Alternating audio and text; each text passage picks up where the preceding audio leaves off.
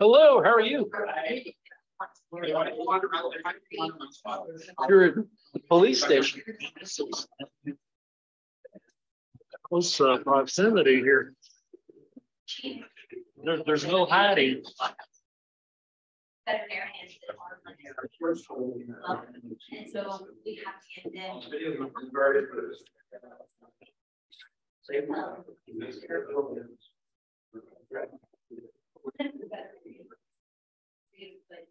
But us and every, all the safety.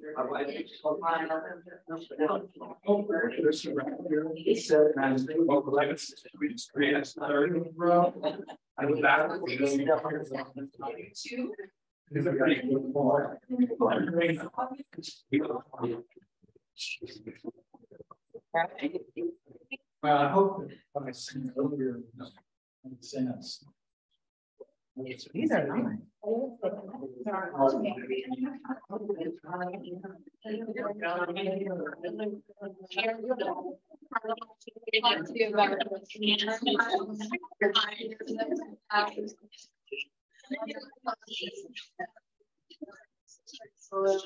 That's just our, our support. I'm glad I'm glad it worked out.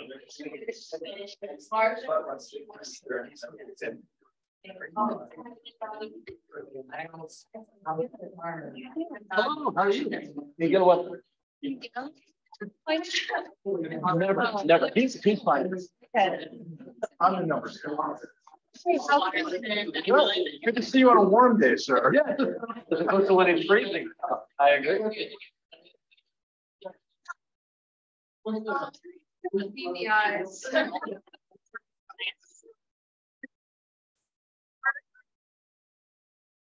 That's still happening and there's a power outage. I just stopped and started on the way back. I don't want you to hate me, right? No. Yeah. Yeah. So much to do. Um, for, for this one, Yeah. for, for this one, it was about, uh, an hour. Not a lot.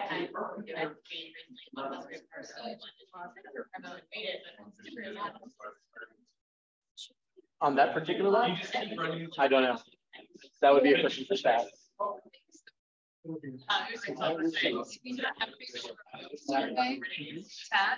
Okay, yes, we do. Yes.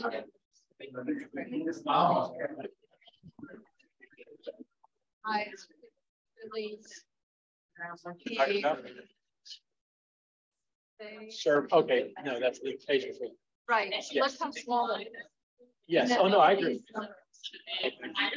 Numbers don't full. Um, Okay. And, and, and, the- and the, the question, okay, so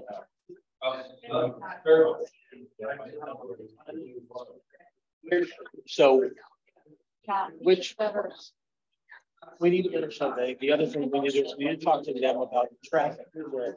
This particular portion. We don't have one. In particular, uh, section two ninety, we, we generally ask for a survey. I've done that in the past. Yeah. So, so the, I think that would be. a- that, that goes, that goes to item number four, in terms of traffic study. So, uh, the issue with the impervious cover, that's not a cover. That, right, because of, because of the, the dogs, right, yeah, right.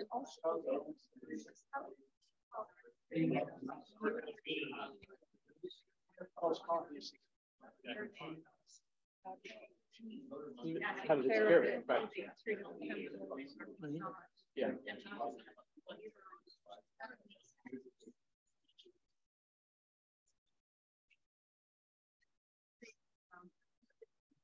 Just to make sure. And then, um, from there, we'll just find out what portion of the yard is be.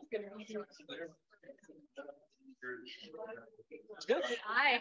Hi, I'm Bob. Hey, Bob, I'm Lisa. Nice to meet you. Good to be here. We have a plan?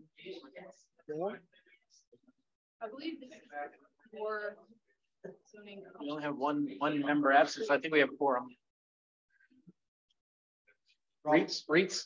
Robert? Oh. Hey, that's good.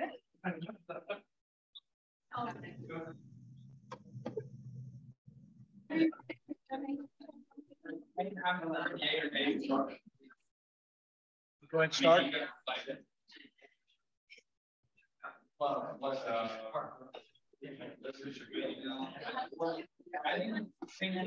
Please, sir. Order? You see? Okay. Yeah, that's for a high resolution image. Very, very good. They still have things. That our site plan, uh, renders. I'm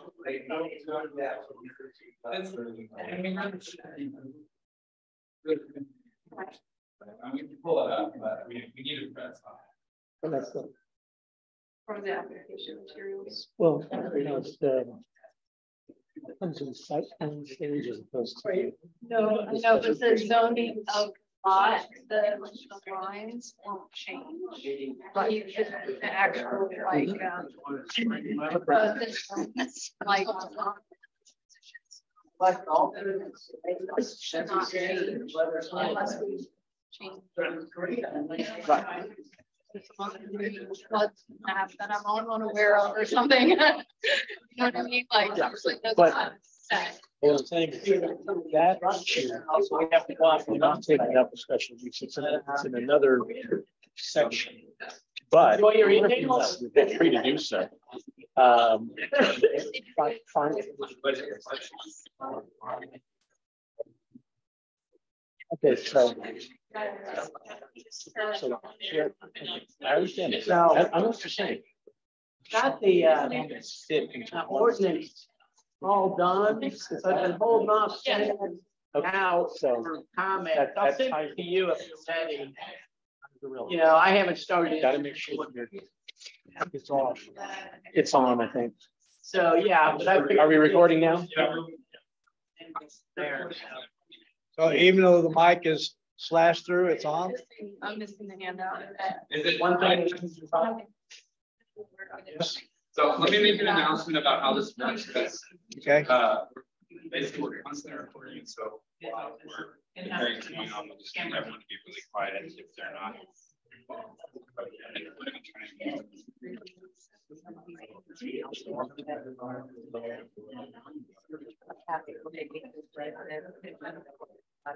the, The council has four, it doesn't stick. I think you can mention it. How many minutes. I was gonna say four, just gonna say the number, okay, unless.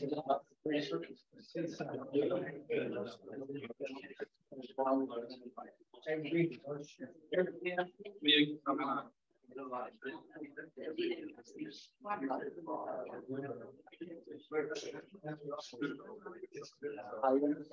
up. There's a.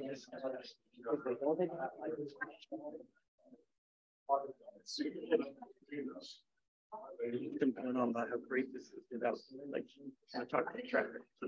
So who's gonna make that? I will, I'll be there. I didn't get this back. No, this, this, we, we- we print. We print. This- Now, we, we, this, this is, and that's where my marks and stuff are there when I, like, do my review. I do it on paper.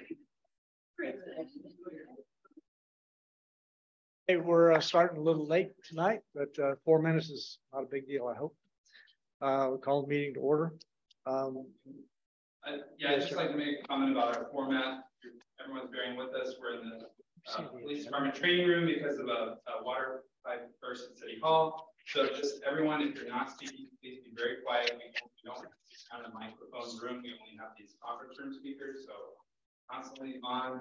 So uh, just please, if you're not speaking, um, just please, uh, please be quiet. And then um, if you are speaking, just try to project. Um, you know, it should catch our zoning commissioners, but if you're at the podium, you've got a microphone behind you and a microphone over here. So just wanted everyone. So does it amplify? No, no, it's just It, it just records. correct. Okay. This is just kind of for the official recording, and I don't think, we, we do have some folks online.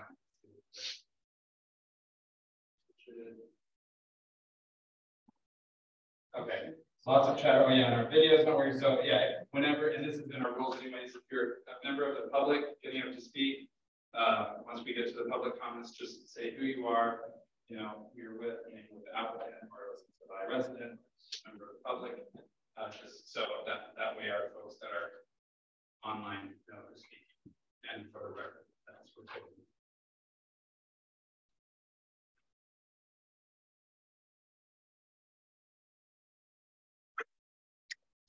All right. Um, Chair recognizes. Well, okay. Normally Matt goes into this, but I will, I'll just remind everybody. Uh, comments are held to four minutes. And we request that we don't talk about the wonderful nature of whatever it is that you're trying to promote. Speak to a specific land development code item. So if you come up here and you don't say land development code 502B or C, don't. Okay? Come here and tell us what, which one of the provisions you're talking about, whether it's traffic or whether it's uh, uh, adverse effect on the neighborhood or whatever it is, address that because we're here to discuss those items, those seven items, and not just generally the merits.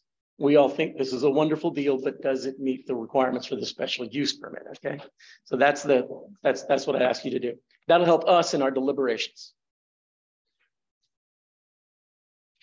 Right, uh, call order and, and, uh, public comments. Uh, you have cards, Matt, or are we taking them one by one? No cards, there were additional public comments that were uh, made either in open town hall and uh, there was one dropped off by a resident uh, late this afternoon.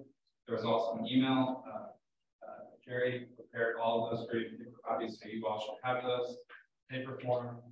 And then since this is the only item on the agenda is the Austin Pets Alive special use permit. This, this public comment section number two, item number two is only if someone has a public comment not related to the to the item on the table. So if there's any non. Okay, I, I believe everyone's here to speak to that. To that one item, right? okay, uh, moving on, uh, open the, uh, public hearing, uh, to determine, uh, whether we should, uh, uh, recommend a special use permit to the city, uh, council. Um, so we don't have any cards on that, on this one either, right? No, we don't. We don't have the card set up, but um, typically we'll do a staff presentation. Uh, you guys, you all can ask us any questions. You can ask questions of the applicant, and then we'll we can open it up to members of the public. They wish speak order against special. Staff presentation then. Uh, good evening, commissioners. I'm Jerry Restoven, uh, the Development Services Coordinator for Sunset Valley. Um, as you stated, item four today is to conduct public hearing and consider the zoning commission's recommendation for a special use permit for veterinary clinic use uh, within a neighborhood office zoning district for the property located at 4942 West Highway 290. Um, the property is currently used for the environmental plan offices. Um, my understanding is that environmental plan um, will eventually be moving on someplace else. That they intend to sell this property to the applicant here today, which is Austin Pets Alive. Um, as I said, Austin Pets Alive will be using the clinic as a veterinary clinic. Um, what they have told me, and they can elaborate further, uh, the intention is for the property to be used for people who are fostering um, animals prior to adoption. Um, that those would be fostered at people's homes. And if, while they were fostering the, um, the dogs and cats, um, that they would um, be able to bring them here to the veterinary clinic to receive veterinary service. So, so it'd be different than kind of typical vet clinic where you or I would, you know, go to, for that. Um, this, this vet clinic will be serving people who lost their animals on behalf of Boston, Pennsylvania. Uh, it is a special, it does require a special use permit within the, uh, within the neighborhood office district. Uh, the applicant has stated, I'll get into the code later, that there will not, not be any boarding of animals either inside the facility or on the outside of the facility. Um, the, of course, some animals will be staying overnight, just like uh, if you dog vet. Sometimes they need to keep them overnight for observation, they may be staying for that. And of course, dogs being dogs, they need to be walked every once in a while. And so need uh, situations where the dogs are being taken on a walk on, on the property. Uh, the, the Sunset Valley City Code actually identifies three different uses um, related animals. Um, what is what we're talking about here, which is veterinary clinic, and I'll read the definition real quick. It says, the diagnosis and treatment of disease and injuries to animals by a person trained and authorized to treat animals. Medically, animals may be kept on premise for treatment measures. So that's the request here for that use. And I feel that that means what they told me the way that they, operate. Um, the other use, uh, and I won't read this one because it's much longer, but um, is pet services. And so generally speaking, it's quite a lengthy definition, but uh, in the beginning, it states is the use of a site for grooming or boarding services performed within an enclosed building or structure. So I would look at that as being something along the lines of PetSmart Petco, where they, they maybe they don't have boarding there on site, but they definitely have grooming, they definitely have you know retail sales of things related to uh, um, the, the, the, animals. Um, or maybe these doggy daycare places that you see around now, the, the so-called pet hotels and stuff like that. So that would be pet services, which is another, another another use environment. Uh, finally, the third type of use is kennel. And simply the, the, the exception there, the difference there is the fact that the dogs may be stored, may be uh, kept outside. And I think that the best example I can put that nearby here would be Exmoor down off of Brodie, um, mm -hmm. just, uh, just the county hill. Definitely an outdoor, dogs kept in cages outside. So this is the vet service. The vet service, the city code does not allow in the vet clinic use for dogs to be kept outside or frankly for that matter inside unless it's related to the medical procedure that they're receiving. So there'll be no boarding animals here, um, um, except those receiving uh, medical attention. Um, the city staff is recommending um, the approval of the special use permit uh, with two conditions. I'll get to those in a moment. Um, going through the criteria of um, A through F within the code, um, um, it talks about the first one discusses compatibility with adjacent residential structures. Um, in this case, there are no adjacent residential structures. However, there is a single family residence on 290 on the frontage road, about 200 feet to the east of this property. Um, so compatibility does not apply because it has commercial zoning. One side is the city of the other side is not a commercial property of. Um, whether the proposed use will not have an adverse effect on the value of surrounding properties or impede um, their development. Um, the, the property has publicly owned land on two sides. To the rear of the property, you have game development by the Sunset Valley. Um, to the west, you have the uh, Violet Crown Trail, the, the, the entrance that um, comes out of the 290 there. Uh, so you only have one adjoining property that is privately owned. As I said, that's an existing office building, so I don't believe it will um, affect that. Uh, the proposed use will not create a nuisance effect or otherwise interfere in neighbors' enjoyment of their property or business. Again, all the animals will be kept indoors, and so I do not anticipate that will become a nuisance issue uh, for that reason. Uh, the traffic for the proposed use can be reasonably accommodated uh, on existing streets, while significantly congestion and the safety hazard or parking problems in the area not disturb the peace and quiet of the neighborhood. Again, kept inside, so that's an issue. I'm sorry, I didn't mean to interrupt you, Jerry, but but just for for those to help those out in the audience, the appearance and and compatibility is A, uh, adverse effect is B, uh, nuisance is C, traffic is D, and Jerry, if you just kind of lay out E and F, that way those wanting to make comments will have will know which which bucket their comments fit into. And um, that feels that Again, this is on the frontage road, Highway 290. Um, it's not a huge traffic generator. The vet clinic is not, so I feel traffic can be accommodated um, with the existing infrastructure on Highway 290. On letter that the proposed use complies with all other applicable provisions of this code and other ordinances and regulations. Um, no new construction is proposed with the site. I think it's important to note that what's before you today is a special use permit, not a site plan, Not a site not a zoning change. So really the question at hand is, is this appropriate location for a veterinary? Um, there is, of course, an existing, I think it's a former house where EnviroPlan has their offices. And EnviroPlan is currently under construction, building a new building. Um, that's adjacent to the, uh, the, the house where EnviroPlan is. Um, that building is not yet finished. Um, and, uh, when the property changes hands, provided the perfect approved, um, that building eventually will be finished before that time. And, uh, will also be used for, uh, by Austin Pets Alive. I think what they had built in us at the beginning too, is that Austin Pets Alive also plans to use this besides veterinary clinic. They will have the offices for the, uh, the, uh, um, uh, they've also told me that they intend um, occasionally use it for fundraising, activity. Um, if they wanted to, um, um, you know, over for you know, some sort of fundraiser. Um, and they did indicate to me that if they to do that, they would be uh, probably renting parking space from a nearby property owner. And then, um, showing people by that the design was large. So, our David has spoken to the church, will be east on two ninety, and I think there's also obviously the, um, um, this is the, um, Specs. specs, church of specs. Yes, the, the, the, the- the Lutherans and, and specs. Yeah. Lutheran church. Yeah, okay. So. Um, so, um, again, so, so, you know, fundraising occurs in office, you know, in office buildings, um, it would be an issue.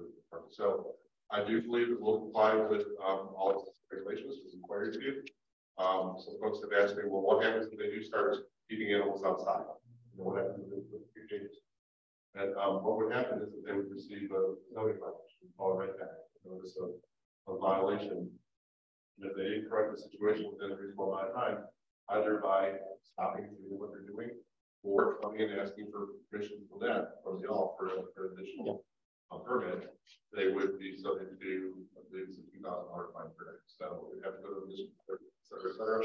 You cannot say you get permit for one thing and then start with, you know, a different use. So the building that's under construction will be finished, the existing uh, house uses an office, uh, will remain. There are twenty-six spaces on the site. And there's, like I said, no new construction activity planned, other than interior remodel of both, probably the new building, as well as, of course, the existing, uh, office building to serve the, uh, the venues, to show, create the exam rooms or whatever. whatever. Um, and then finally, letter F says that the, uh, special use will be operated by the owner, or lessee of the property on which the special use is located, or by another pursuant to a written agreement to the such, such a.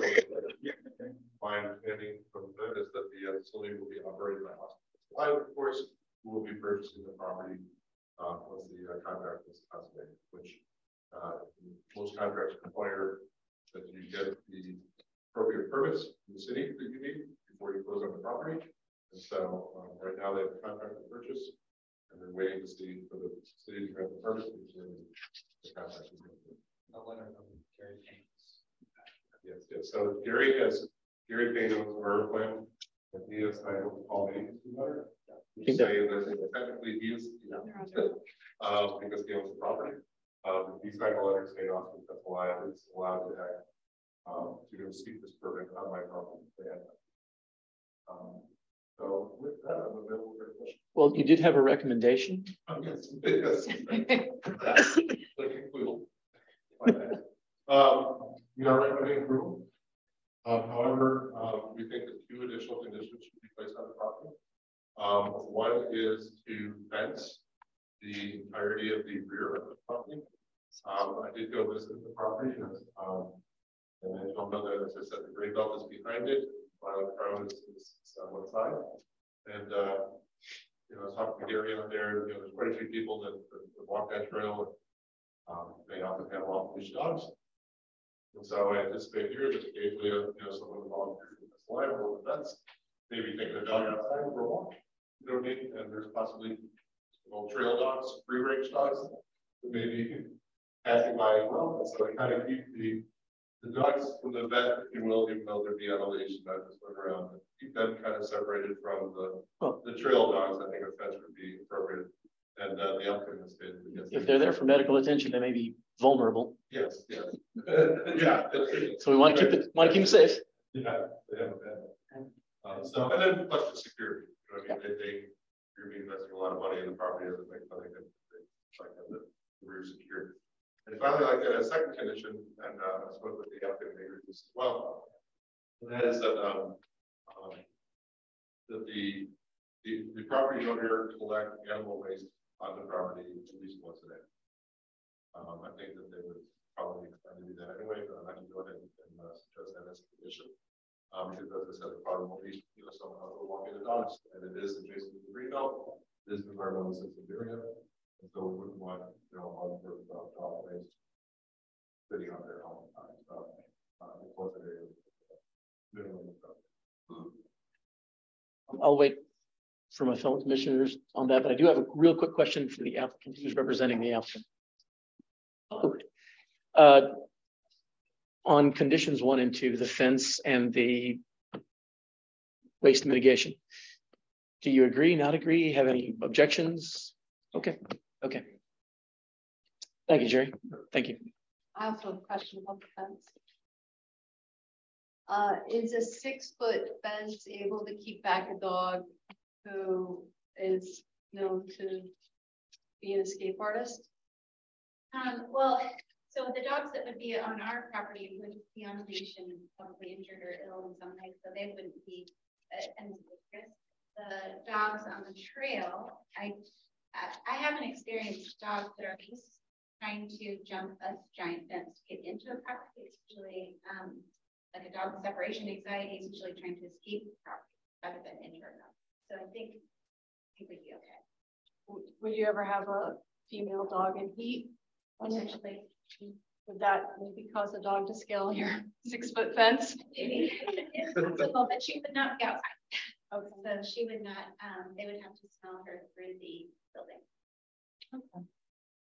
Which I don't know is possible, but So there's a way for dogs to use the bathroom inside the building? Forgive me, I'm a little ignorant. no, no, that's Okay. okay. Um, the dogs that are, that would be hospitalized there or there for the day, would be dropped off by the foster.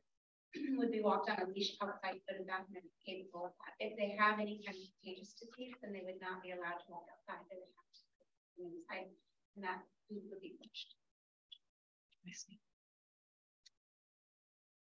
Um, Matt, would, is, is it picking up her voice sitting here or should, should she be? Uh, I in- believe it was a question about who, maybe a commissioner. So that was Commissioner Versace asking, uh, the fence was high enough, and who's speaking now is, uh, the applicant, uh, the applicant is El- Ellen Jeffries, right? Jefferson. Jefferson. So, Just for those listening in.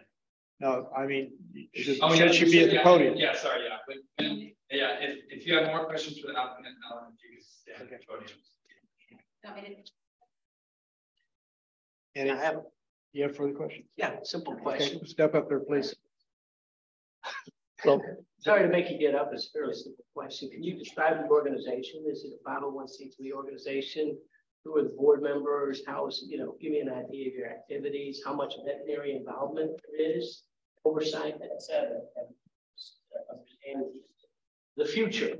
Absolutely, and I, I, I, uh, this is Ellen Jefferson, I'm the president CEO of Austin Pets Alive, and I'm a veterinarian, and, um, our organization, without getting into our whole history, we have been around for twenty-five years, and, um, we have a board of directors, three of our board members are here tonight, um, Matt, Rusty, and Dan.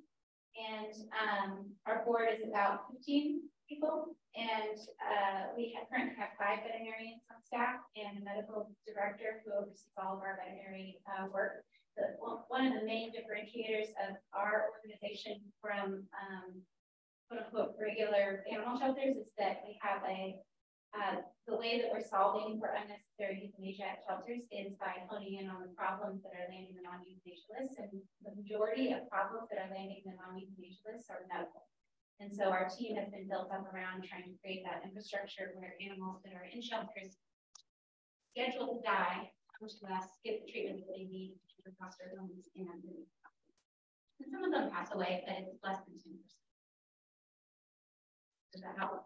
Yeah, that helps. I'm just curious as to, it, that sounds like you do borders, there's some pets someplace. Is that not true? So we Is currently. part of your organization? So the organization has multiple components. We have a behavior center for dogs, and that is, we just purchased a property over by the airport and um, on Burleson Road, near Burleson Road, that uh, will house our behavior rehabilitation center. The property we're on currently is the Town Animal Center over on the city, um, city of Austin site at Cesar Chavez, and uh, we are planning to keep that. Um, we're working with the city on a seventy-five year lease and the, currently that is where animals that are regular, don't need medical care, don't need behavioral support are housed. And um, we see that as the property is demolished and rebuilt, we see that continuing as a small adoption center and um, what we would call sort of easy foster care, medical foster care, and kind of like a foster service center. And this is really about specialty medicine and doing specialty surgeries. We do a lot of orthopedic surgeries, a lot of um, soft tissue surgeries. We treat a lot of contagious diseases. We do have um, kind of have a whole gamut. So when we sent the flyer out, the, the picture of Central Texas Veterinary Specialty Hospital, um, that's similar to what we do, but not for the public. So we're really seeing kind of full-time lots and of animals that have uh, injuries. And so the um, to, to fully answer your question, 80% of our animals are in foster homes. And the, um, the animals that would be at this facility overnight will have 24 7 um, uh, care.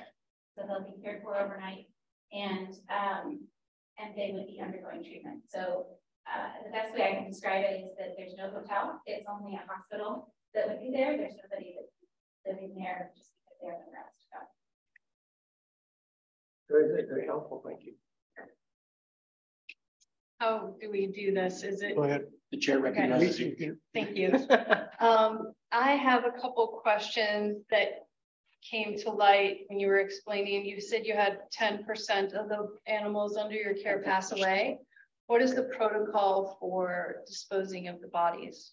We work with, um, I'm trying to remember the name, I think they just changed their name, but it's one of the cremation services in town and they come pick up the bodies, if you will, and um, bring them and have them cremated. And if the foster wants their ashes back, then we um, will work with them to uh, get a special discount from that there where they can get the uh, and special kind of storage that might be recommended to you that's maybe state regulated that you're gonna have on site for that? I don't know if it's state regulated, but all veterinary hospitals have the equivalent of like a hunting fridge freezer. So they like a, a vertical, horizontal, sorry, great freezer. And so they, we have, have those in the Great. And then um, you had mentioned um, the current facility at Town Lake does not have the medical staff there and it's not being used as a medical board per se. Um, is, are there sick animals there as well right now? Yeah, so we are currently operating all of our services out of the Town Lake Animal Center, virtually all of them. We have a small space at in Tarrytown for adoptions and for our neo, kid and neonatal care, which is another one of our specialty services. And the um, the facility is 75 years old plus. We've been in negotiations for over 10 years to try to get the, the site redeveloped, um, torn down and redeveloped and there's all sorts of problems um, there with power lines and under like 72 inch water pipes under the property. And it's just turned into an extremely complicated process, which has delayed our, our future. And so now we're at the place, at the point where, where we just have to buy other properties and move on and um, still, and just comply with all the restrictions that are on that property for the 75 years. So instead of having our full facility there, it'll be a fraction of what we currently have. So how many animals are currently under medical care at that facility? So this morning when I was talking to our veterinarians, we have about 20 kittens that are being treated for panleukopenia and about 20 puppies being treated for parvovirus. there in the facility and about four dogs that are being treated for distemper. And there were three animals in hospitalized cages um, recovering from surgery or receiving oxygen therapy. How many animals do you expect to be able to house at this new location? Um, that's a good question. We haven't gotten that far. We're, we are currently um, trying to map out how we would set up the parvo ward in particular. We're really trying to space out the dogs so that they're not all kind of in one space together because they can spread other diseases to each other by accident. Um, so the, the new building would be where that's currently where we're thinking that we would put the parvo ward um, on the first floor and we're trying to build out the cage space so that they're not all I, can't, I'm not really sure how to answer that. We have the capacity to house up to 50 animals in the parvo ward that we're currently in. It's not the greatest setup. And um, cats in particular, we try to push them to foster even while they're sick because they're so much better skills, even force feeding and fry. So it sounds like you're expanding your operation to have a off-site training facility for dogs who might be having I don't know. Mental health challenges. Okay. um, and that's acreage, big acreage out near the airport. Um, and so that's going to have its own kennels and a capacity there. Then you're going to have your downtown facility, and that's going to have its own kennels and capacity there.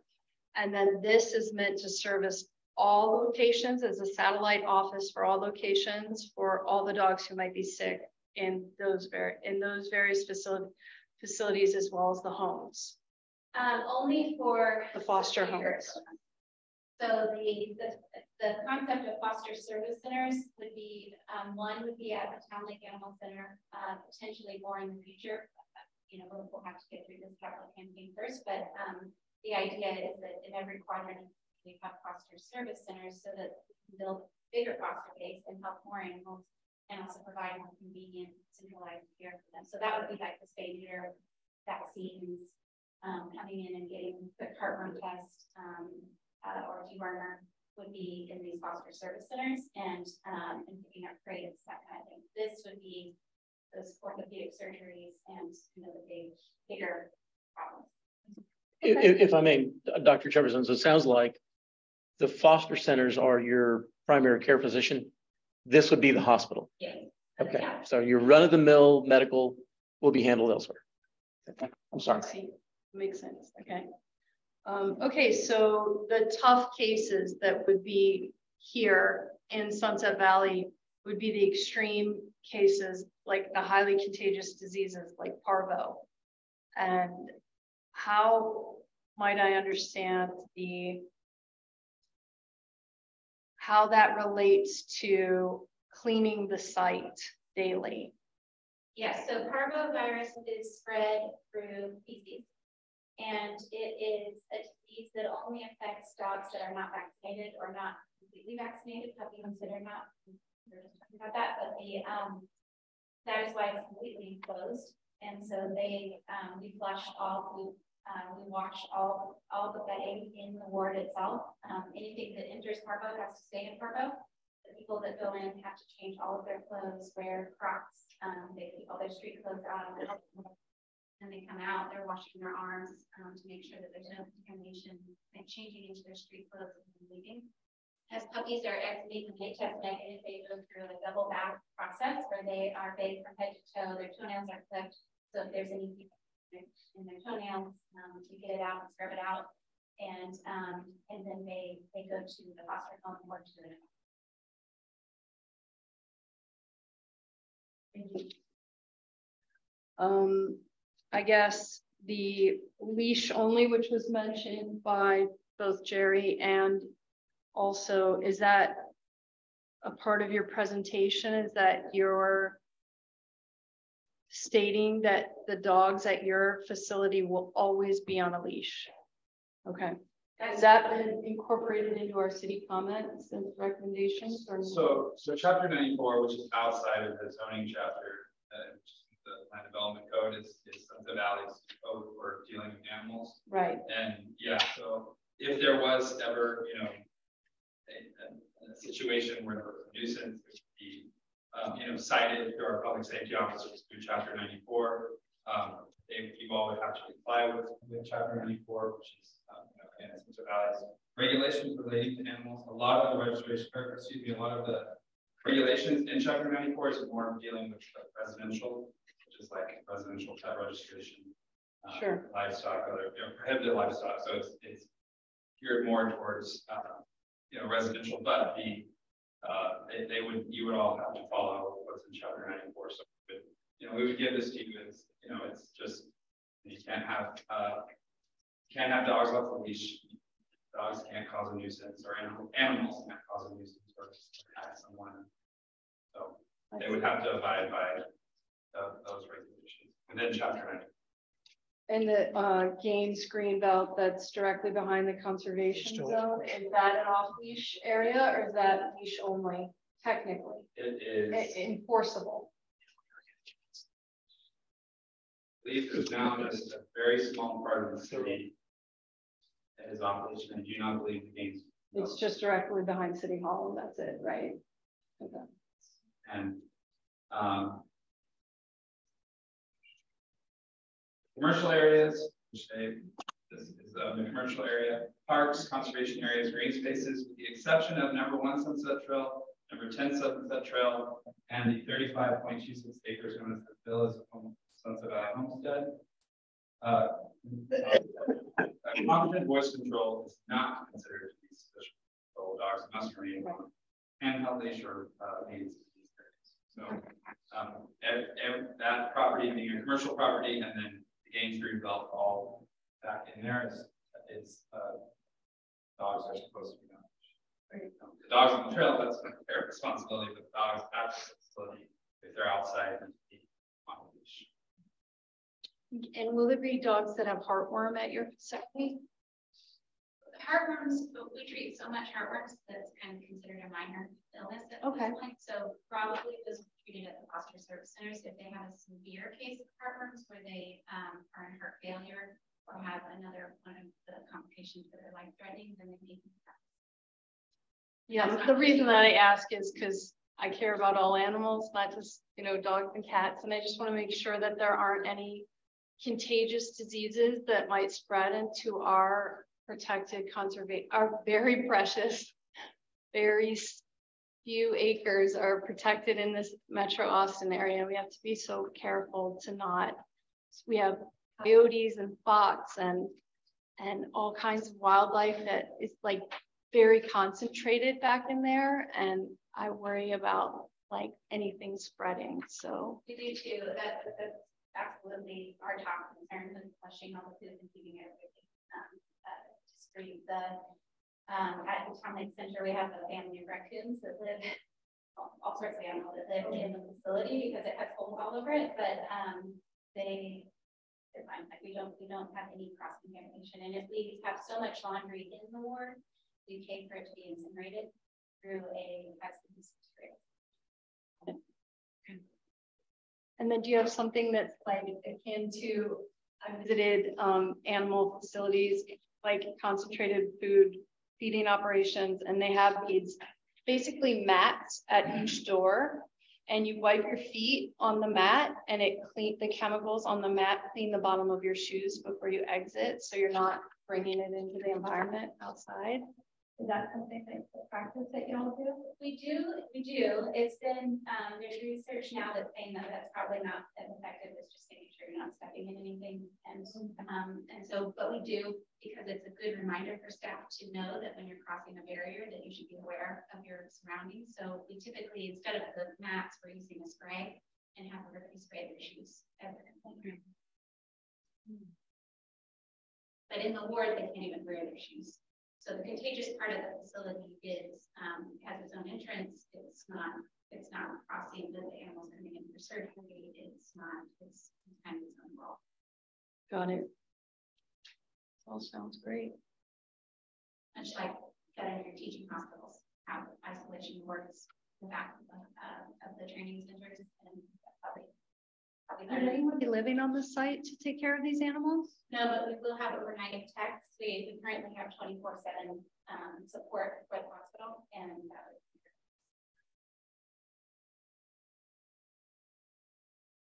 be like an overnight nurse as opposed to like a residence. Yeah. Right, and to be somebody on shift. Right, because I, someone said there's a house there and I was thinking, oh, well, the doctor might live in the house and then, you know. Would No. that be convenient? Too much need for space. Okay, got it. And we don't want to be somebody's employer and their landlord. That's kind of a hard situation. Okay. Well, you answered all my questions. Thank you. Chairman I think Skivis, she just yielded the floor, so. I think this, all right, have you yielded? I Yes, yielded the floor. Hello, Chair. Uh, I, Dr. Jefferson, I've got a, a question, or I'd like to have a discussion with you and Jerry and Matt, if, if you will. Uh, I'm going to preface this by pointing out that I like children. I've got children. Uh, I've served on a private school board here to- for a local private school. I've done a number of different charitable organizations with children, and I uh, was on the Austin, uh, Austin Adoption Day Committee as a, as a volunteer lawyer and things. But when we had a childcare center come looking for space here, I wanted to see a traffic study. Not because I don't like children, but because we, for the last 10, 15 years or something, Bob, we've been here for 20, Bob and I have served for 20 years on the commission. We've always asked for a traffic study. Was there a traffic study done in this location? Uh, did we, did we get one? No, no, there's not a traffic study done as part of Okay. So again, don't get me wrong, it's nothing against Pets Alive. It's just something that I normally look at because that's a very congested area, especially around the holiday season when you get queuing from Brodie back well past the entrance to that neighborhood. Um, but it sounds like you've got a limited number of trips. You don't generate a lot of trips per day. Is that correct? Um, staff, have you looked into that at all or? No, we haven't, I could, could look into the. Yep. Trip generation manual, Mhm. uh, for event clinic, and we give you a number of, based on the square footage. Um. Usually the idea there, you're, uh, first we have a special use permit here, it's discretionary for it. you know, it's- it's- But usually what that looks for is, okay, let's see existing traffic, let's propose traffic, add the two together. Analyze it and what you mitigate, um, in this case. I don't know too much, you done in the frontage road, you know, mitigate additional traffic. We can't because it's TxDOT. Exactly. Um, and I would also be somewhat concerned about, well, I would say generally speaking, I think the model here is somewhat different than what the trip generation manual said, also. Right. Generation manual said, so, uh, public event clinic. I mean, as opposed to what they're doing. This, this is a limited community, limited availability. Right, so I clinic, think it right? would, it would inflate the. So I, I, I agree with Jerry. The, that it's probably okay. What concerns me is the occasional fundraiser. How occasional is occasional? And what do you mean by fundraiser? And how many people will be there? What time of year? What time of year? Exactly. What time of day? Oh, never had a property that, uh, so we don't have an answer yet for that. Property is beautiful and we think that it would be a nice venue for a major donor event, um, or someplace to bring people together. I don't know if that would be an actual, and, and I don't know if it's possible for one of our board members to come up too. Um, Certainly, you don't have to do this yourself. You can, you know, uh, I can handle it. and, and like I said, thi- this is, don't, don't see this as a cross examination. It's a, dis- it's a discussion. So whoever you need to bring up, please bring them up. Uh, Matt Harris, uh, co-chair, of Austin Pets Alive. Uh, Specifically, to answer your question, right now it's a little difficult to think. I think the primary goal, at least near term, is to move hospital operations that are currently over two line over there. and set up. It is a new site. Um, and we would probably bring donors there more on one-on-one basis because to, to raise the kind of dollars that we're gonna have to raise to uh, purchase the site and then to to uh, redo it to, to make a more functional hospital site. And it would be much more, much more on a one-on-one basis. As Dr. Jefferson said, we've never really had an opportunity to have a site like this up until this point. Uh, I would suspect that as we do, uh, as we start to raise, do more fundraising for this location and for the college, we will have events, not even necessarily at the site, we'll probably have them at, uh, you know, it really more bringing the donor out there and saying, okay, we just, we're gonna rehabilitate, turn this building into a hospital, we love to put your name on it. Cost X dollars. For, for just, just for clarification, you said for D Collins, what's a D Collins? Oh, I'm sorry. Property on Ferguson. Okay, thank you. The fifteen acres. Okay. And, and again, that one's also going. uh, Right. To the site development permit. the City of Washington. So a Okay. lot of the on-site stuff is gonna be much more one-on-one, not a big crew type deal. Barbecue in the backyard. Yeah, yeah, it's very, very. Circus tent, hundreds of people. Uh, I, I don't see. I mean, just, just because somebody said, you've got limited parking on the site, so you're have to shuttle people there. In some ways, it just doesn't work. It, it's really much more about reaching out to that donor who wants to have a significant gift, put their name on something and, you know, Yeah. much more one-on-one and just having the same conversation we're having with you tonight. We would have with them in terms of what the, what this is gonna be, what we. Again, having a lot of experience in nonprofits, uh, from school boards to scouts to other things, I understand the role of your, your development director, your development officers. I don't want to get in their way. But by the same token, we have to go through these criteria. Um, so I want to raise an, a, a potential solution that'll get me past all this, at least myself. Uh, we have a temporary special use mechanism in the state, in the, in the ordinances. And the temporary special use mechanism is an event or an activity with a duration of less than thirty days in a, in a zoning district other than single family that involves an activity not normally associated with the CEO, certificate of occupancy uh, or zoning use for the proposed location. So in this case, you're, you're a medical facility, veterinary specifically. So if you want to do something that's outside of that, like have a get together, you'd come in for a temporary special use permit. We'd look at it, determine that you've got parking agreements with Spec's or the I think it's Holy Cross, Holy Cross Lutheran Church. Um, and you've worked everything out. You come to us, we look at it and say, good, and then we don't have to do traffic studies from the beginning. They go to council. They, they go to council, they go to council. Go to council. Well, I meant, they come to the city. Yeah, come to, come to the city, make an application. It's not as stringent as a special use, as a special use permit application. Because it's temporary. It's temporary, but it does, uh, require council approval, so you just have to. Uh, what I always say with temporary special use applicants, is just work on your timing. You know, you have your event come out, contact the city. But I would say that, that would be a very good, uh, I believe, uh, method of, uh, of the city, uh, basically Having some- checking in on the, on, on, when you all do want to have events, it, it helps the city know, okay, well, how much traffic is, are you expecting, you know, do we need to look at, you know, transportation plan, because we, we, we, we've, uh, we've issued temporary special use permits for all types of events. At Burger, they've had pet adoption events at the shop, at, you know, the shopping centers, uh, Home Depot every year gets one for a pre-sale, so. You might be able to shuttle from here, from City Hall. Yeah. So, but, but that Rents. rent City Hall, but that brings us back around to Dr. Jefferson and Mr. Harris.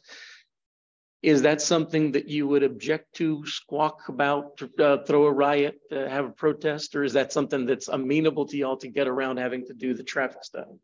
I think, I, I think we would be very amenable to that. Um, my, I guess the question I would have is what would trigger that? Is there a certain, certain number of people? Like if we were to have a staff gathering of all the people that work there, it's seven day a week, twenty-four hour operation, and maybe more people at it, like a staff appreciation event than currently be working there at any. I would, I would think anything that, anything that fills your twenty-six spaces. Okay. Yeah, fills or, or uh, exceeds. Exceeds, right, yeah. And also, you know, we hear fundraiser event, you know, event. If it's a, if it's a office party. Right, if, it's, if it's something that would just would be a part of normal, you know, staff, we're gonna have the staff get together, you know. Because you have the office space as well as the clinic, but yeah, I would say if it's an event. Fundraising event, you know, yeah, any, any kind of event that's outside the scope of both the office. Which, you know, uh, the office use, which is built into the zoning and then the special use. Potentially the veterinary. And again, my focus, his, he's looking at the use, I'm looking at the vehicular traffic. And as long as you can park everybody safely offsite, if they have to sit there for three hours waiting for people to come out because traffic is queued during the holiday season and everyone's going to spec in the shop, Spec's in the shopping center, well, that's at least off the roadway, you know, that's them. Um, so that, that would be my criteria, but it's. To to answer your question, we're. If We're going to do, then, then decide. exceed the number of parking spaces. I'm, I'm going to add that to the fence and the animal waste uh, mitigation as, a- as a third uh, condition, if you will, that, that you'll come in for a temporary special use permit for fundraising events. Yeah, and the city of Austin with the um, town and animal center, we have a provision in there that we are authorized to do fundraising activities. And that, like, we've never had a fundraising event there. Um, I don't know, there, I don't want to squash the ability to bring donors to talk, you know, just uh, on open by it, but that's not a medical thing. Maybe that would be very administrative. And then, yeah, Commissioner, what, uh, just based on the number of parking, you figure two per car, and then again, I don't know how many employees or people you plan to have on the facility at the time, but what if it's any kind of event where there's gonna be fifty or more people on site, or we plan to have fifty or more people on site? I think that that would come in employees, so day to day, that would be the issue. plus, plus one. It is an office. It is an office, you know what I mean, so if we have donors over, we talk about, that's what, that's what an office does, we're just looking at. You know, those occasions where, again, you're gonna exceed the parking lot capacity basically. Um, you know, the city know about it, make sure that you have a shuttle service arranged, et cetera. How many employees do you have? Overall, we have two hundred and fifty. That would be at this, that would be, well, I mean, there would be, there would be, uh, not now. Um, we probably have, um, three or four veterinarians that are working there throughout the week. Um, each of them have four technicians assigned to them. So, uh, you know, on some days, they might all be there just because there's usually a day they all come so they can do rounds and meetings and that kind of thing. Um, so I, I can, I can get you a, a real number. We were, we were looking to ballpark it so that we could look at Jerry's suggestion. Uh, so you could conceivably have everybody from that office, plus a few folks from administration. And if they rode with somebody, that'd be fifty, but you, but you could park, you could still park them. Okay.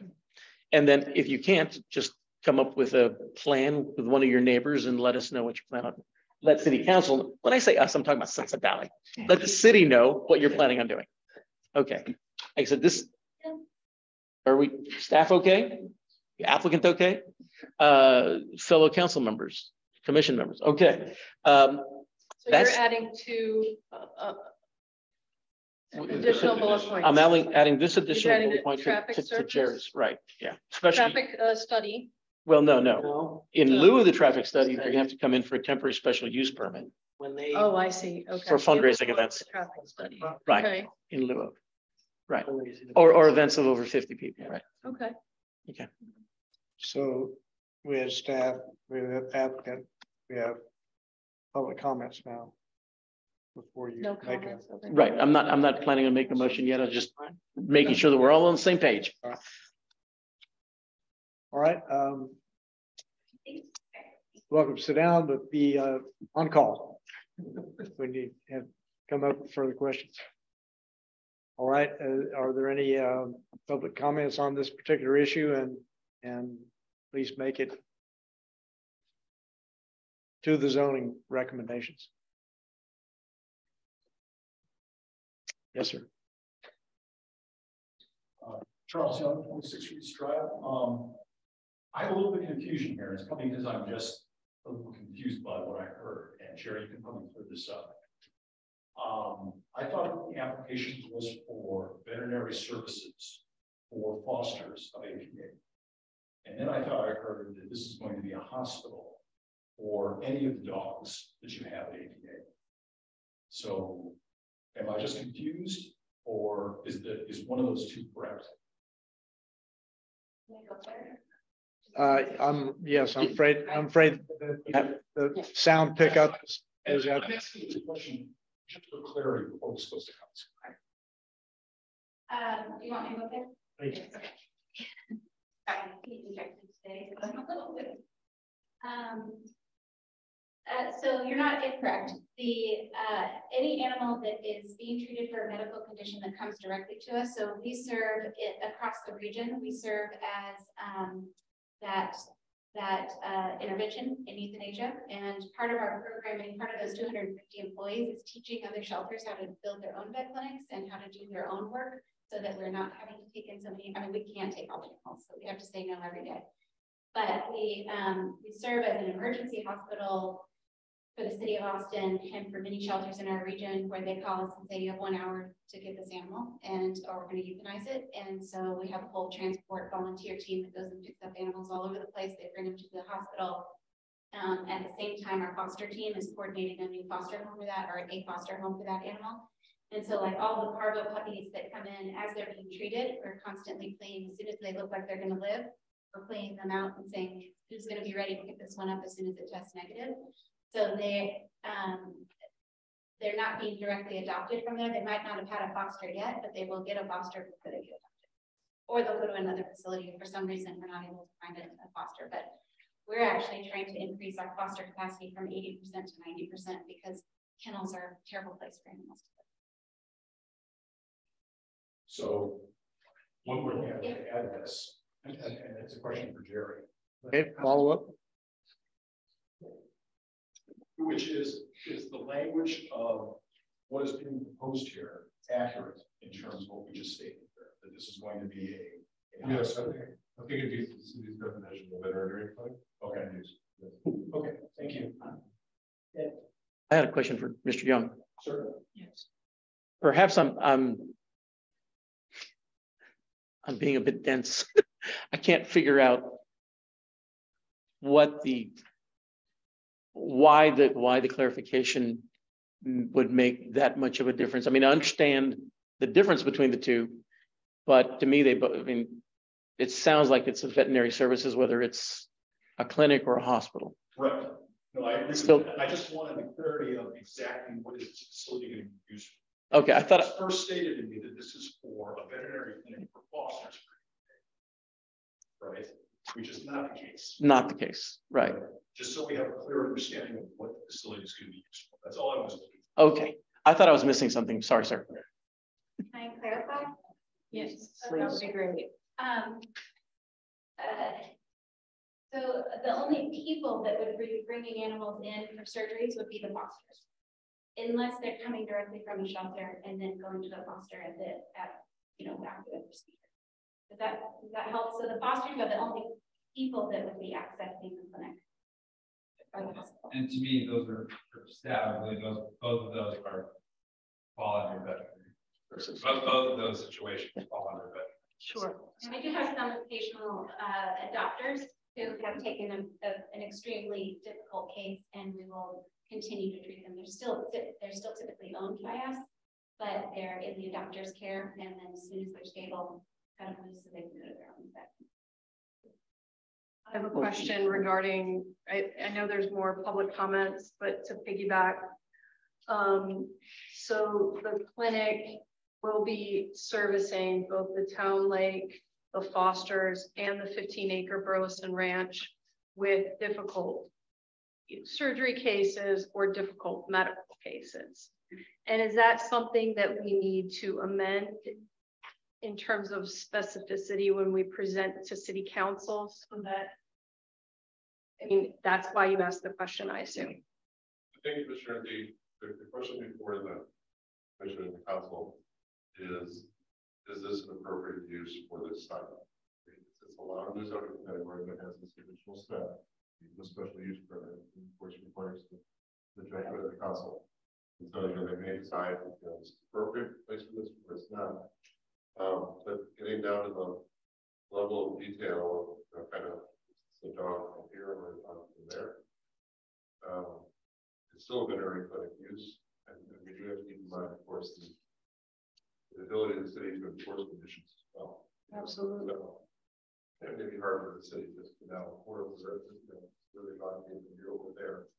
Um, but, you know, we really rely on the applicant to tell us um, how they intend to use the facility, but as far as we're concerned, it's, it's been. Absolutely. So this committee would be concerned with how many parking spaces versus employees? Does it meet the criteria for that? Does it meet the criteria for the actual lot being not in a floodplain for some reason? If they were gonna wait, wash the waste into the creek or something along Actually, that's, that's more along the lines of site plan, but yes, we, we'd consider that in- as part of the, the A through F. Got it. If it's an A through F, we would answer. So in terms of the employees, you mentioned you had two hundred and fifty employees, but there were only gonna be about eight staff members on site every day, is that? Or you're gonna have an office as well, so how many employees total on the site? I didn't count them up before coming here, but um, I'm guessing that we have ten to fifteen um, administrators or foster coordinators. Um, we, our foster coordinators work remotely, but since most of the animals they're placing are medical, um, we're going to see a real synergy with them being on site so they can get their own photos and bios real quick and send them out over email. The medical staff's probably going ten to fifteen also on any given day, so we'll probably fill all those twenty-six spaces. Um, but they're not all there at the same time, because the clinic, our clinic opens at six AM and closes at eight. So there's a morning. shift. Six to eight. Got it. I was just gonna add a couple of thoughts on Rusty Tally, and I'm former chairman of the board, and I'm still a board member.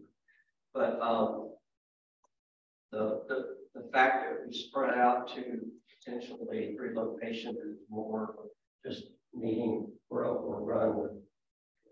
We're not having room to do what we need to do correctly. So it's not like we're adding a whole lot more animals or a whole lot more people. We're gonna be adding some, but not that are gonna be interactive with the clinic. Because even when we're bringing, say, dogs from our fifteen acre area, it's gonna be internal people with a van and go get them and bring them in. It's not gonna be like a regular vet clinic where every dog or cat that comes in is a car because it's a separate owner. So don't, don't think in terms of where the dogs come from as adding significant amounts of parking issues or, or whatever, because it's all employees doing the work. So I just want to kind of clarify on that. Sure.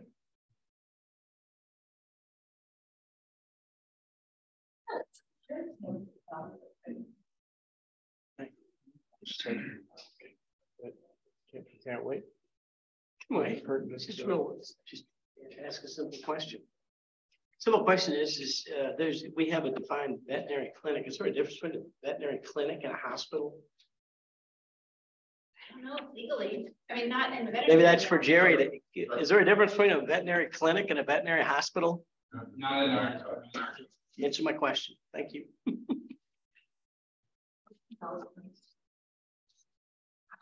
uh, still in foster for UK advocates. And, uh, I have a few, so I'm sort of familiar with it. Um, so here's my concerns about the property, which I don't know. Um, the density, right? That, that, that's, I think, one of the, what, some of the questions have been getting to is how many critters are on site? And I need their answer to that. And, and, and to me, that makes a difference, you know, because Mrs. Angeli is a couple of doors down and maybe she's not coming, but I, I want to know how much potential dogs are on site. I mean, the cats plus the, the, the dogs, that, that, that's an impact as to whether I think it's good use for this property. Just how many? And then, um, the environmental concerns about the waste, I, I, I like what I heard. I, I, I had concerns about that. Um, I, I, I do want to make sure that we don't have waste going into the greenbelt. Um, that's always been a concern on that property. Um, and how enforceable all that is, you know, because when we have other people, I, I like that I'm hearing that it's staff who's coming uh, instead of people, because if you go to PetSmart, you see all the waste when other people are doing it who are, who are potentially fosters. And so I think that's where your concern is if it's not staff and it's fosters dropping off and that's the waste. That, that's an issue, because if you just go down PetSmart, you can see that is that PetSmart problem, it's the that doing stuff, people, people coming in that, that you see the problem, all you gotta do is go down and look. Um, and I think that's, that's most of my concerns, it, it really is, um, thinking about a nine-year-old woman there and thinking about a whole lot of dogs, and if there's a lot of noise. That's, that's my main concern, because I think they've mostly addressed my other concerns. And so, um, I think density matters, and, and, and I don't know that there's anything in the code that says that. So you have to have, I mean, it's kind of like the car plan.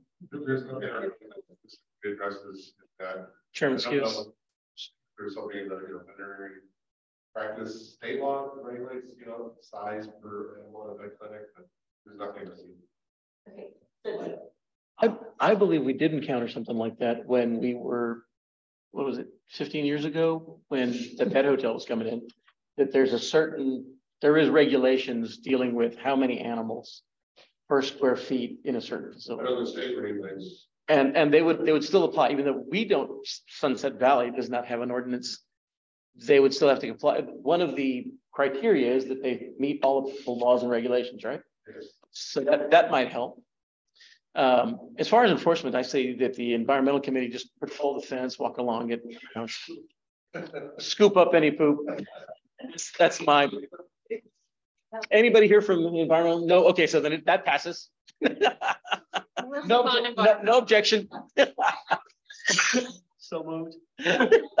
I, I was at, at and this, is part of my concern, is the amount of times they say, we need people because we're overrun with animals. And that's, and that's, I mean, the, amount of emails that I got that said, we have no place to put an animal, desperate, desperate call for fosters. And so I got all of so, so it's like, it's density. Now, I just got the kitty ones, I didn't get the dog ones. I, I, I adopted dogs out of this, but at the time. And I'm just like, okay, so where are these places? That, that, that is from experience, what my concern is about sort of how we're recapping potential amounts.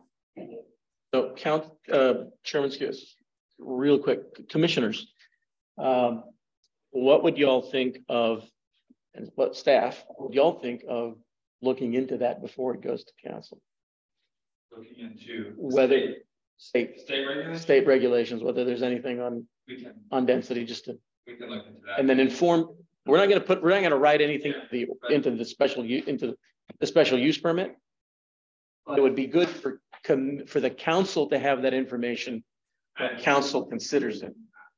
Hopefully we can get that, We can also post the council packets on Thursday, we have a lot of other stuff to write. Okay. So we might just have to present that at the meeting, we might not go and about that.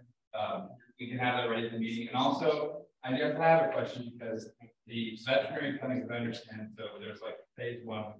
Environment plan, which is the existing house, and there's the new building, building being built, kind of has. Is almost designed for two spaces, is that entire building gonna be used for the clinic or is, or, oh, I mean, there's, Of the new yeah. Because, uh, we'll just need to know, because I'm sure there's some sort of square foot, you know, how many dogs can be. You know, per square feet, and so we have the dimension of that building, so. Just, yeah, if you can just kind of elaborate I I, I'm not aware of a state law, um, around veterinary hospital usage. Um, Katie's our, our policy director, so she may know, she works for the state mostly. Right. Um, but I can say that, um, the, there will be a caretaker, a site, a, a building caretaker that will be employed, so we will be keeping the, site there won't be, um, trash and that kind of thing. It's really important to us as we're leaving a facility that, um, sort of invites, because it's such, bad condition, it invites being left in bad condition, and so we're really gonna nip that in the bud and have somebody that's there as a groundskeeper. Um, the, uh, the other thing with the kenneling is that the, um, the, it's hard because when you have puppies and kittens, they have a, um, you can have a bit litter taking up a one, one, um, hospital page and still not being over capacity, but have a large number of animals in your care. And so parvo in particular really is a disease mostly of puppies. And so we do tend to get litters. And so you might have, you know, a couple dozen dogs in there, but it's little puppies. And um, the uh, I, I think the only dogs that would be housed there that are adults, and we get the occasional adult in Parvo as well, but um, we would be seeing like overnight after an orthopedic surgery. So we might have a dog from our, our behavior facility that's blown out his ACLs. He'll come in and get surgery with the orthopedic surgeon, stay at the hospital overnight, and then go back either to the facility or to the foster home. Um, I think at the town lake facility, even with all the holes, I've never heard the puppies in the Parvo ward outside. You can hear, of course, the kennels and all the dogs that are in the outside kennels, but I've never heard the animals on the inside making noise making it out um, to the outside. Um, and then the last thing I would say is, uh, that was most of it. Um, so I don't, so um, it's not in our best interest to load up a bunch of animals in one cage because they, we have to treat them and with parvo in particular, they're pretty gross. So it's really hard to clean them if you have a whole bunch of puppies that are in one kennel. So we tend to separate out the litters a little bit so they have more room to have diarrhea. Um, and the emails um, are generally when we're trying to answer all those emails coming from other shelters, we're getting hit with the wall of requests and that are basically telling us these all, all are going to die if you don't take them. And so that's when we send those alarming emails to our foster base because we want to, you know, Austin have a lot of people that can help and um, but that's not because they're all at our facility. We actually, uh, at our facility right now, we have 200 dog kennels and um, we have 110 full. Um, we're trying to really push to foster and not families. So it's in our best interest. It, it's a lot of people power to take care of animals in cages. And so it's in our best interest to move sick and injured animals to foster as fast as humanly possible. That helps at all. That's your question? Yeah, yeah, I mean, I, I, like I said, I've been there. I, I connected the, I used the facilities and to get for the animals because they were sick and all that. Yeah, I, I know the drill. I think the rest of the people here are your people. Is there anybody, any other citizen like to comment?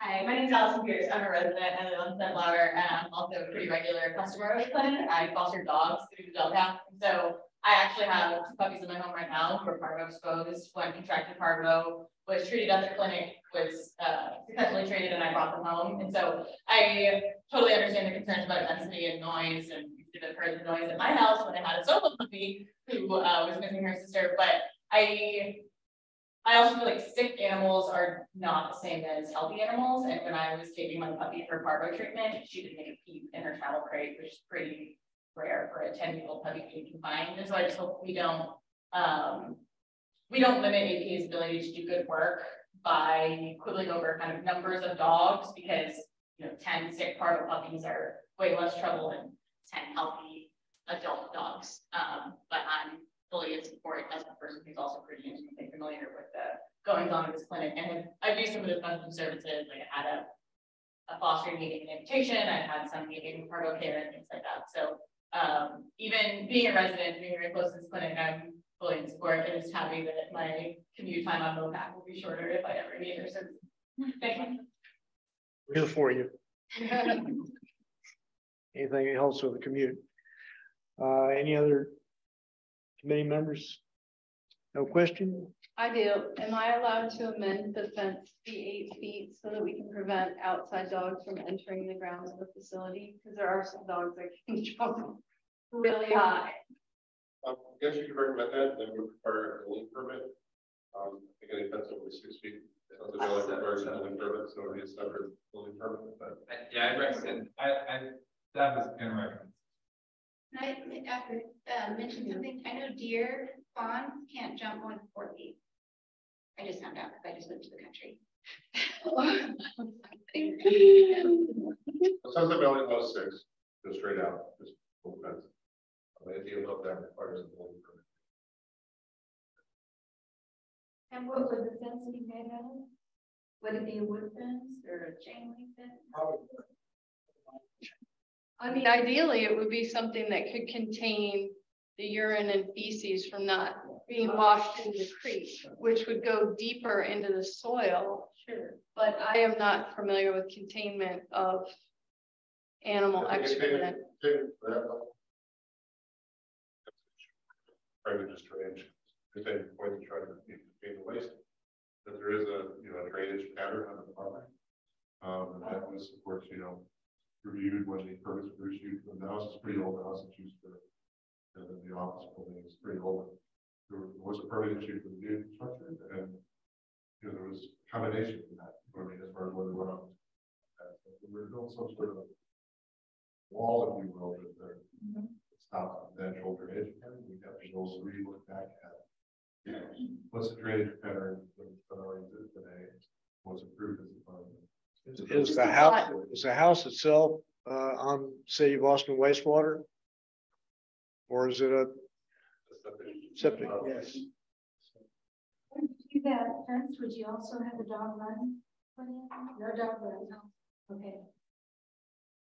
And with Yeah, the, the fence- the fence are regulated to six feet, because every fence Is that based on the maximum, which is seven feet, or is that just arbitrary at six feet? It's just a standard fence height, because standard fence height, yeah. But wouldn't we want a fence site that could contain animals that can jump high? And you can recommend higher as well, Yeah. you know, that is part of the doable. But up to seven feet does not require a building permit, and since they're going to be That's- that's submitting, Anything over seven. since they're going to be submitting can't site set- plans, I mean, They- it's they a part of the whole site They plan. should be submitting Unless they want to do outside improvements, but as we understand, they're only gonna make in- uh, indoor improvements, which will just be the administrative building permit process. I see, okay, so they're just doing interior renovation only, no extra parking spaces, since they're parking vans there? So they, they have, um, they have their, their parking, um, because the parking plan again was submitted. Back in this new development, you know, the, the parking, uh, on the site, uh, adheres to some Valley development code. Great, perfect. Sounds good to me. I'm Satisfied. So, All right, if there's no further comments, um, we'll go ahead and close the comments section of this. And, um, let's see, we'll entertain a, um, motion and then we'll ask for further discussion. You have a motion on, in mind? You've been making copious notes. Oh, okay. Everyone's looking at me. Um, Yes, we since- are. since- Usually you phrase it and then I say so moved, if you want to, of course, of conduct. This- is this- to have that- Adopted here, so. That is the course of conduct that we've adopted. So we In, invite in, you. to, to that, uh, that end, I'd like to make a motion, uh, Chair, Okay. that we recommend to council that a special use permit for veterinary services in the neighborhood office district under section one five zero point one oh one of the Land Development Code be issued to Austin Pets Alive, Inc. at forty-nine forty-two West Highway two ninety with the following agreed to conditions. Number one, that a fence be erected completely around the back property. Number two, that daily collection of animal waste take place. And number three, that the applicant come to the city and seek a temporary special use permit for any fundraising events or any of events in which they'll have fifty or more people on the property at any one time. That's the motion. I second it, or. No.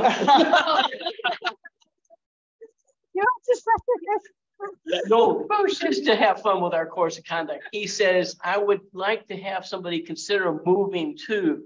And then, And so then I say, so move.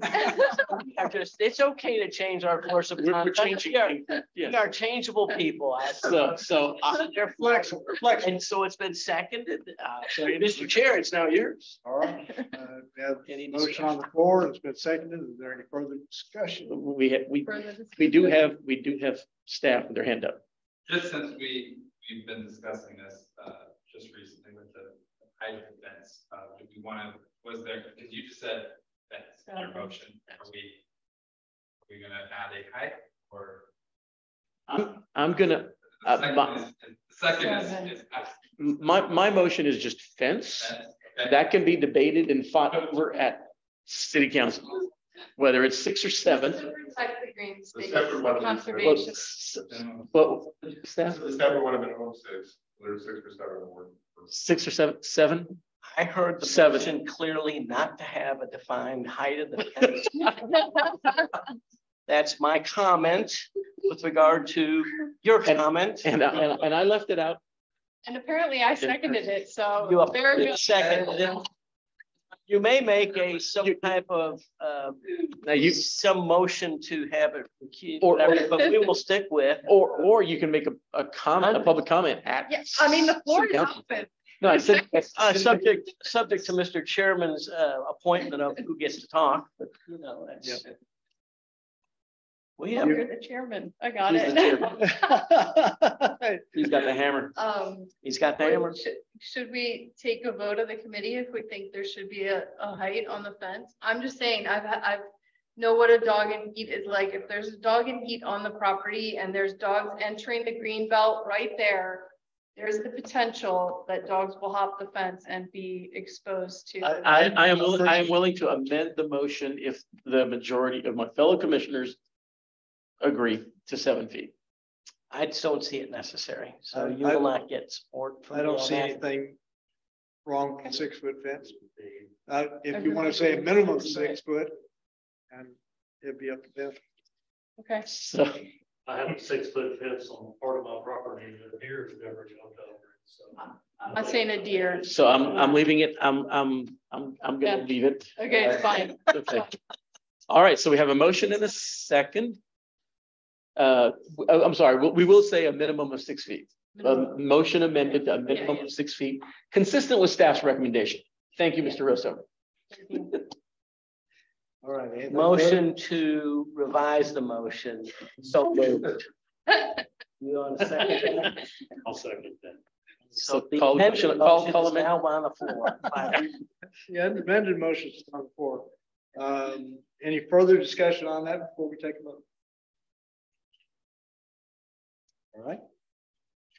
All in favor of the amendment, amended motion? Aye. Unanimous as usual, Mr. Lingenfelter. Uh, I'd like to make another motion. I, I, I, this is, this is the one he- you can he- jump well, You want, you want, this is one he This- quickly yeah. goes No, there. he quickly Do you want to do that one? Go ahead. I, no, this is your, I, we have a course of conduct. But he's, he's gonna jump in here. She's gonna do the second if he's not. We'll her out. That's, Um, I'm, no, I, I, I'm the motion. I am thrilled to have participation. Sure. Chairman Skewes, Yes, sir. I move that we adjourn. Second, We have a second. All in favor? Aye. Welcome. Welcome. Thank you. I'm glad you have this That's full why I said support. that. for you here. I was We pulling her knew leg. that this was. That's why I was. proud that The farm is gonna come every year.